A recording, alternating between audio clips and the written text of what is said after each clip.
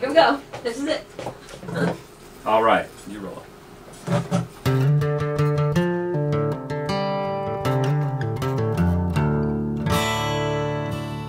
No, you can't stop the rain from falling. You can't hide away from fear. People pressure pain. Everybody saying, Where do we go from here? We are very excited to share with all of you a brand new thing here at the studio. And you can see it behind me. It's that beautiful tape deck over my shoulder here. Yeah, yeah, yeah. And what if life was just a little moment, one little simple time?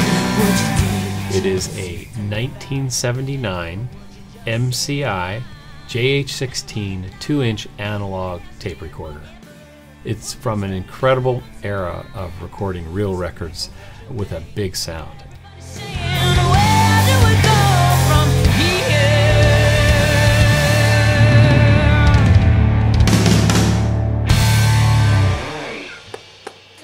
Yeah! Yeah! Good for me. Did we do it? Did we do it? This is the drama. This, is, why they don't do it.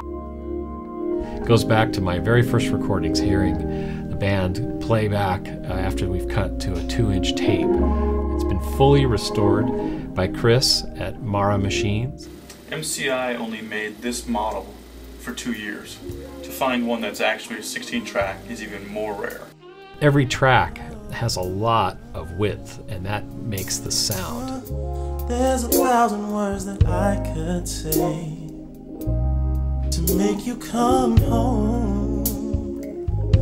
There's properties to analog tape that make it rich sounding, and it adds a little bit of compression and a little bit of analog harmonic distortion, and it's just the, the right kind of stuff. It's very musical. Baby, I don't want to. So I'll just hang around and find some things to do to take my mind In this Pro Tools age, we have so much flexibility and so much power that sometimes we defer our decisions musically until later in the process. That wasn't so on the great records that you and I remember from the past.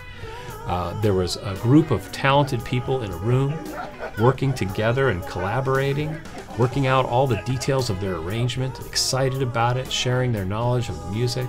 And then when the time came, there was that immediate moment where you put the deck into record and everyone gives their best take. That is one of the best advantages of working with tape. And as a producer, all the stuff inside me just tingles. it just feels good thinking about it.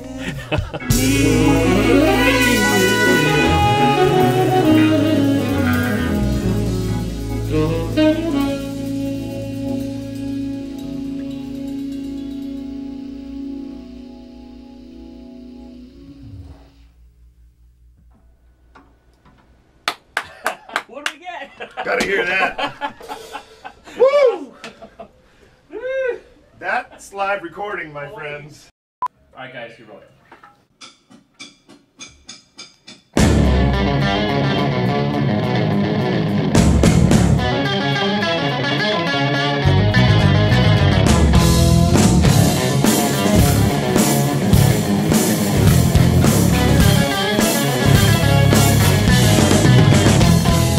Drummers, bass players, guitarists, engineers have just loved recording to tape. And there's a lot of plugins trying to simulate it, but once you hear the real thing, you can't go back. So we're delighted to have that available now.